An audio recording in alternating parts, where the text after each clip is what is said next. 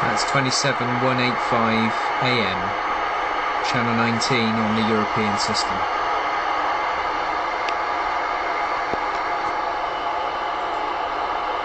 Currently not adapted uh, for use in the UK, but uh, hopefully there'll be a change of policy at some point. Purely for uh, listening purposes at the moment.